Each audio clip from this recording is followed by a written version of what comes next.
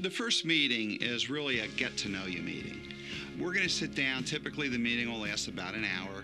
We're having a conversation. My job is to ask them some questions about where they are, what some of their goals are, what some of the key objectives they have in, in meeting with me, where they are to this point, and really what brought them in to see me. And now I'm at the point in my career where I have a lot of people that are dependent upon me uh, to provide them with all the guidance and all the advice that we do on a day to day basis. You spend your working years trying to build up your assets, trying to, to build up pension credits at your job, trying to grow your nest egg so that you can one day retire when you can't work or don't want to work anymore. And that's the period followed by phase two, which is retirement. And your priorities in these two phases are very different, but many times we see people don't make that shift and they still act like they're in phase one when they really should be acting like they're in phase two. We're going to talk to you about uh, what we commonly refer to as the second half of the game. And what I mean by that is you're working your entire life uh, towards retirement. And I'm assuming that most of you are, you know, at that age where you're starting to consider some of your options as you move into retirement. And as you do that, you're moving from what we call the accumulation phase of your life, where you're accumulating your assets. Maybe you're participating in your company's 401k. Maybe you're contributing to an IRA account or a Roth IRA account or some type of retirement vehicle. And now, as you retire, you're transitioning into the distribution phase or the, the part where you're, you're going to need income in retirement. So we're going to talk about some different ways to do that with an emphasis on Social Security.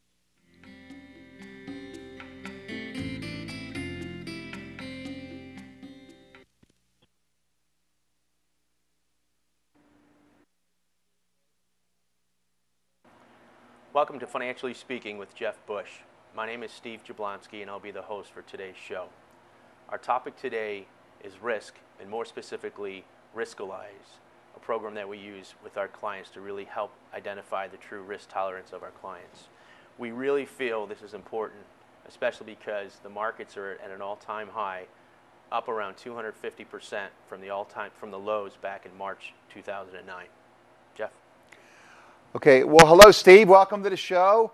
Uh, first, let me say it's great to be here uh, today on PCTV and um, of course, Steve, having you as our, our host, uh, we'll great, we're grateful to um, have this presence not only in the Pottstown area, but uh, also via the internet uh, on the PCTVnetwork.com and, of course, our website, which is uh, informedfamily.com. So, a great big thank you to our friends here at PCTV. So, today, we're going to talk about Riskalyze uh, the program that we use with our clients to measure risk, Steve, and allocate their portfolio uh, according to a scoring system. Yeah, Jeff, one thing we found uh, when we use Riskalyze that we feel investing is broken right now. Um, why do, why do you think that's true? Um, well, it's well for a couple of reasons, and as you stated, the, the markets are at an all-time high, um, and we have the, the chart here, and you can see that um, you know, we, there's a lot of information on that chart, but most importantly, if you follow the lines, it was, it, it was like a roller coaster. Yep. It went way up and then way down and then way up, way down. You know, those are two big global recessions in there. And now, um, you know, the markets, as you stated, are at an all-time high.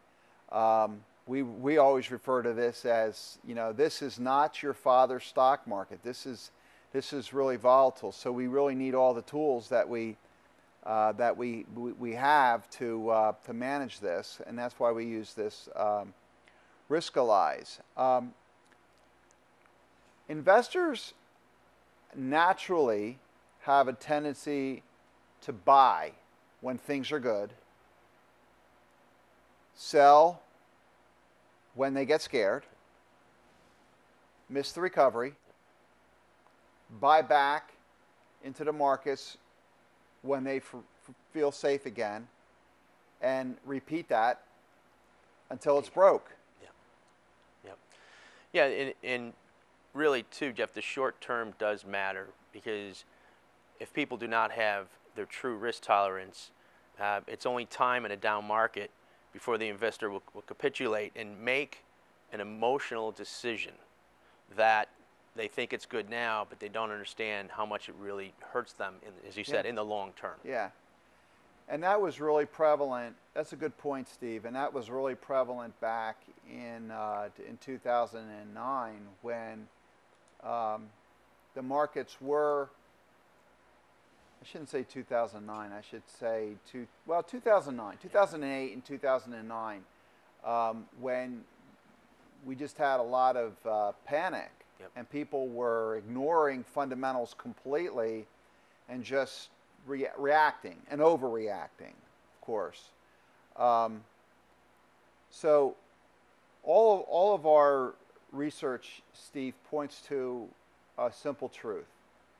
Uh, while investors should be focused on the long term, they react to risk in the short term, and uh, and emotional reactions to risk are the number one killers of, of long term financial goals and results. Yeah, and, and we look at the environment today uh, versus 30 years ago. There's clients are just deluged with, and, and people with with information out there. Some's true, some's not true. Some is specific to them, some isn't, some is not. Um, and what we don't want to do is we don't want to give our clients big, big reports. One thing that we really love about Riskalyze is that's really specific to them. Yeah, and uh, actually, we're gonna we're gonna uh, stay tuned because we're gonna show you a, a way uh, t- to get a, f- a free copy of your own personalized uh, Riskalyze report, uh, which we think is is is very powerful and very a very effective uh, planning tool. And of course, we're in the uh, we're in the age of uh, information and misinformation and fake news. You know, no, no one ever talks about fake news in in uh, in financial terms or financial news, but there really, and I don't want to necessarily call it fake news per se, but there's a lot of there's just a lot of noise, a lot of you know information, and usually it's coming from uh, people with a very uh, very specific agenda Yeah. you know? And of course um, you know you, you watch tv there's financial stations on tv you know you read a lot you, you know there's just a lot of there's a lot of stuff out there. So it, it, it becomes overwhelming and and um, and consuming uh, uh, it comes over becomes overwhelming to the consumer so I guess what we're trying to do today is we're trying to simplify something that's maybe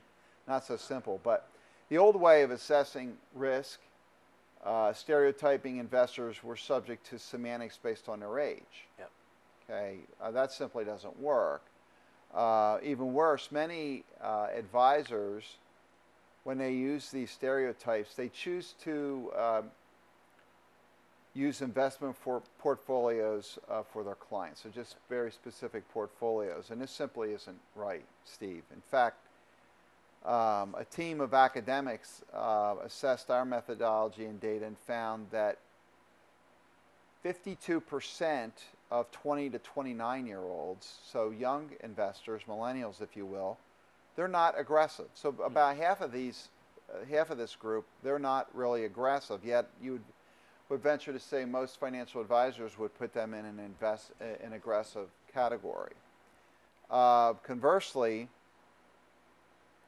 uh, 53% of 70 to 79 year olds Wow. aren't conservative. Okay? So advisors really need to be empowered to treat their clients as individuals. Yeah, and and I believe that investing shouldn't be focused in on solely the return.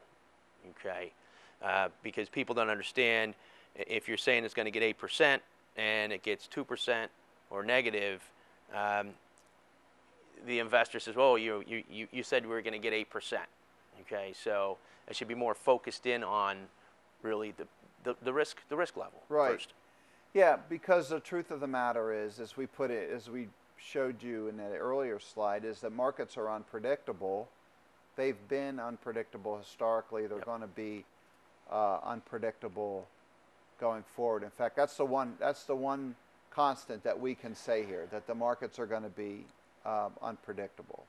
So simply stated, uh, the way we invest for our clients is putting risk first. And when you can do this, when you can quantify the risk alignment, that's when you can really empower uh, fearless investing because then it doesn't matter what happens. If you've got the right, if you've got the right risk score and you've got the right alignment of those investments that go along with the risk score, that's when you have fearless investing. Right. And, and when we talk about Riskalyze, uh, people do get assigned a specific number. Okay.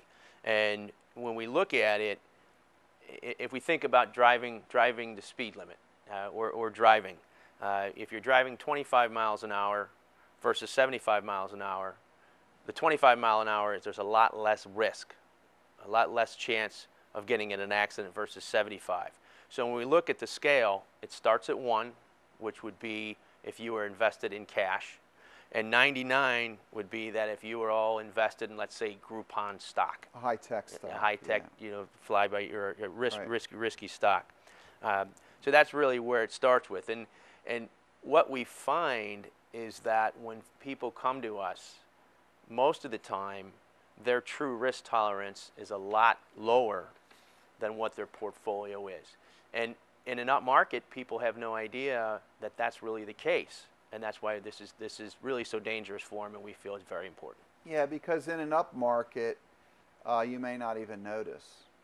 You know, because we're actually finding that now because with you know with some blips in the road, um, the market's been over overall the market's been up. Yep. Um, but you know, so so people don't really even know what their uh, what their risk is. Um, so we're going to offer a, uh, a free report today based on our risk uh, discussion. So anyone watching us can get a free Riskalyze report. Uh, you can send us an email uh, at info at informedfamily.com or give us a call, and we can actually give you your own score. Uh, which kind of it's kind of like taking your temperature, Steve, uh, to see where you're at regarding the risk um, inside your investments, and also we can determine uh, where you know where you should be given your uh, your personal situation. And Jeff, Ri- Riskalyze is one tool, but can you tell us a little bit more about how that integrates and, and how you do planning? Well, yeah, it, it is it is one tool, and we and we could say, well, we start there. Yep. You know, we'll start we start with the risk, but we really want to look at we want to look at the overall. We do kind of holistic planning where we're looking at a, a total financial picture, and we want to do.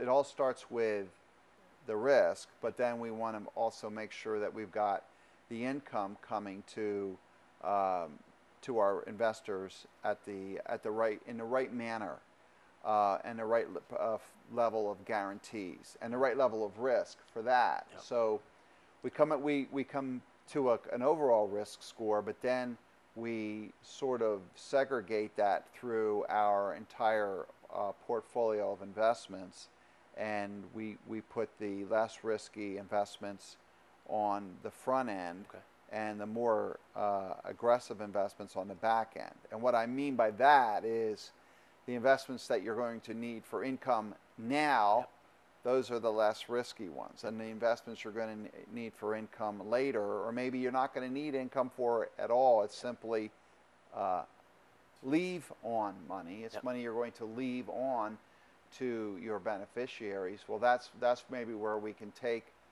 a little more risk, and then we have, um, you know, a little bit more of a, uh, a time horizon, or I should say a longer time horizon, and we can uh, be more invested in equities in that portion. Yeah.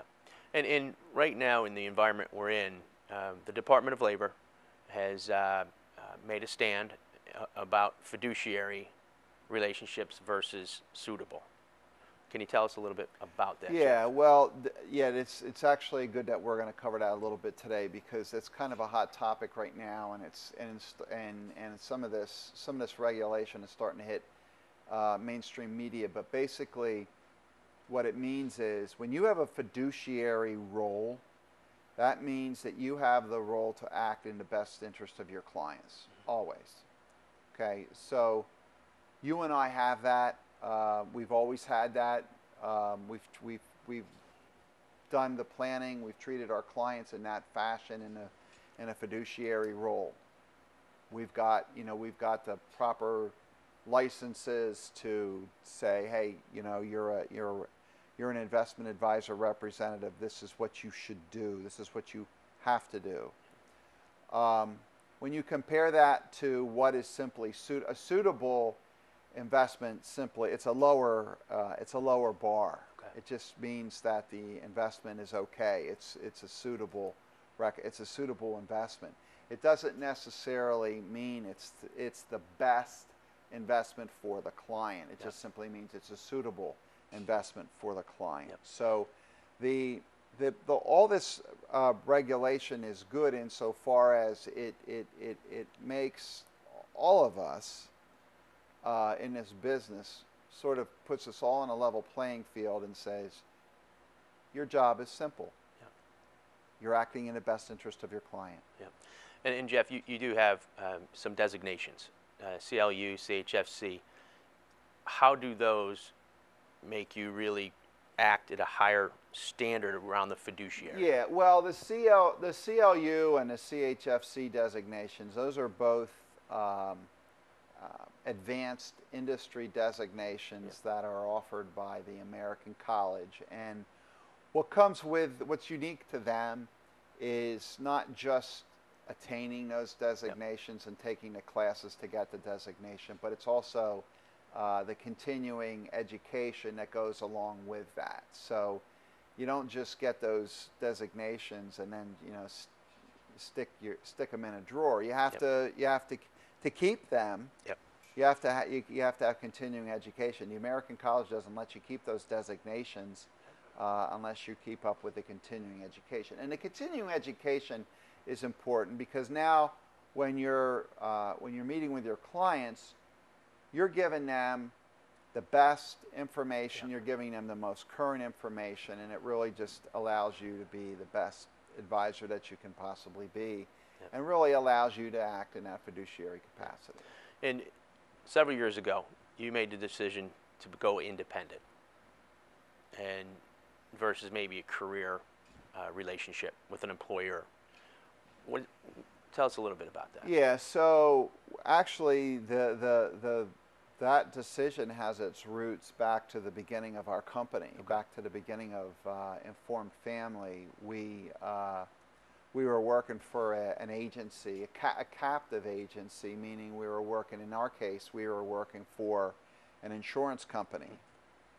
And when you work with, in that, in that role, um, you have you have an obligation to the company to you know there's in, in, in the case of my situation i had quotas to meet. Like i had to i had to have so much production in a certain product Yep.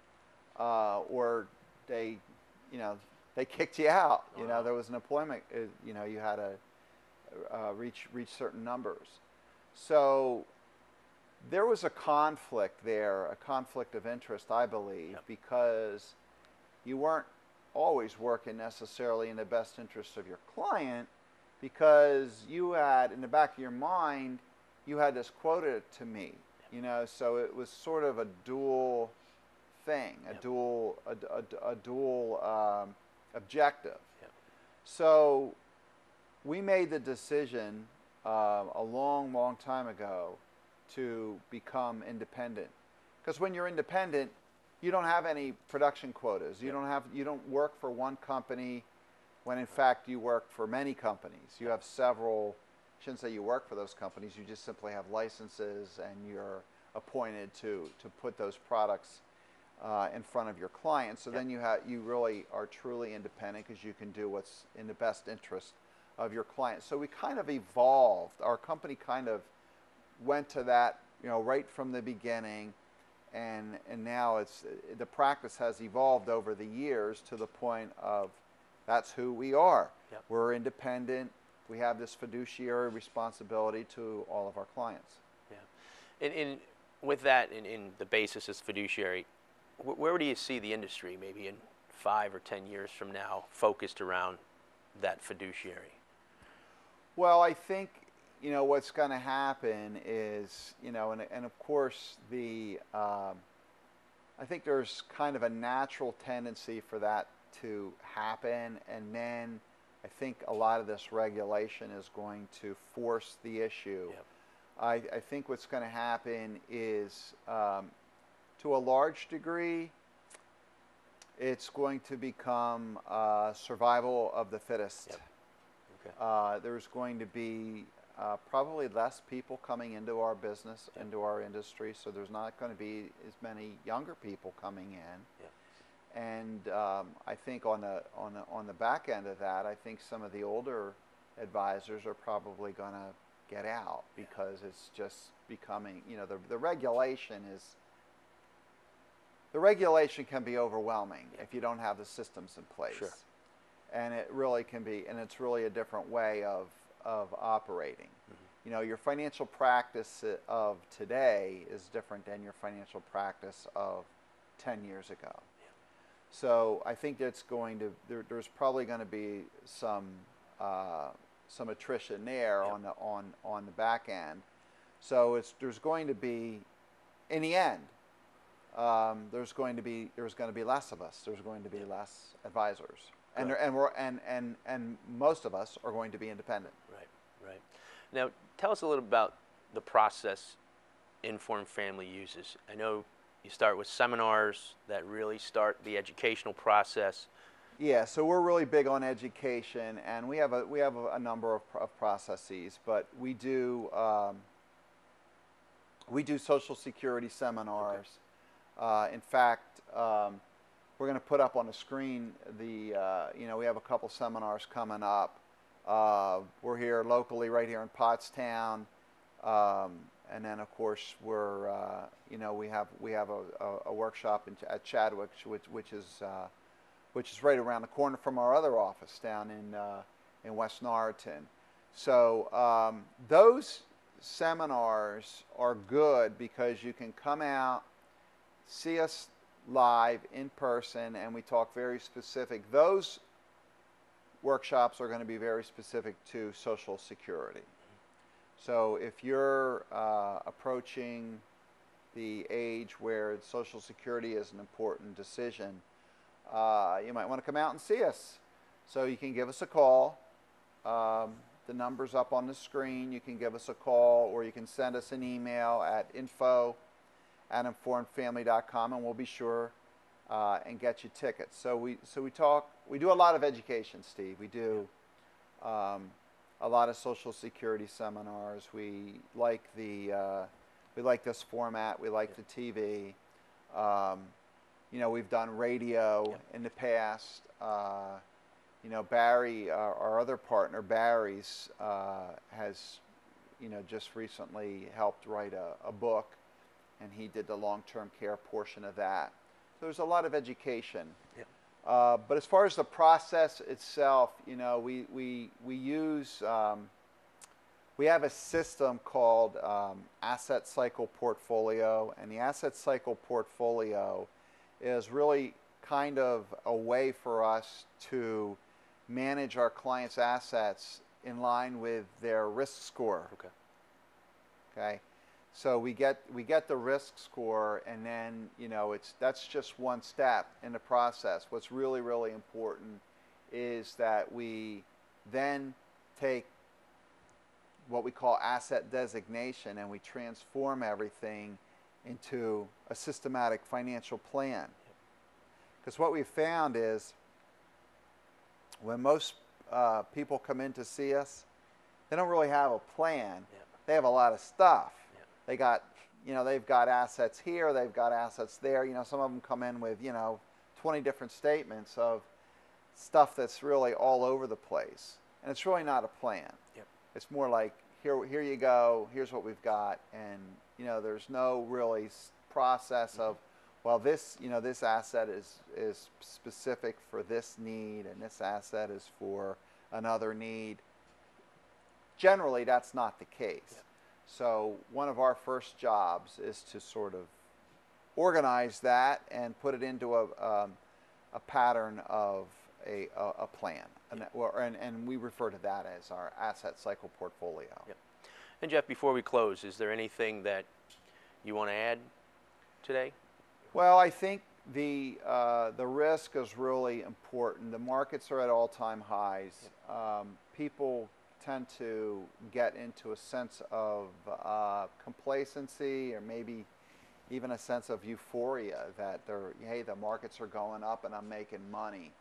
But we really have to be mindful of the risk. And I'm not here to predict that there's going to be a crash or anything like that because we don't know.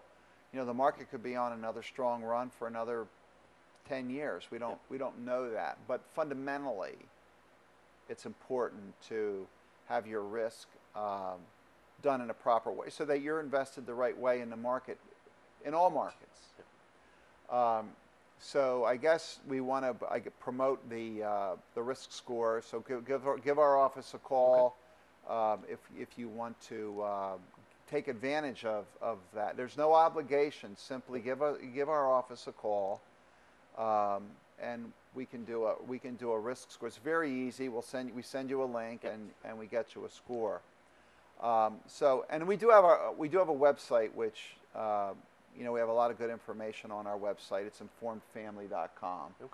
So you can go out onto our uh, our company website and um, get more information on who we are as a company, our background, and you know our upcoming workshops. We have all of our old uh, shows, all of our old TV shows out there. We've been doing this now uh, for about three and a half years. So it's been quite a quite a good run we've had here on PCTV. So with all that being said, uh, we're gonna we're gonna sign off here uh, today, and this has been another uh, episode of of financially speaking with Jeff Bush.